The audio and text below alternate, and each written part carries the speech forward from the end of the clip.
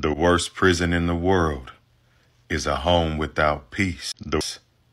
Be careful who you marry or fall in love with.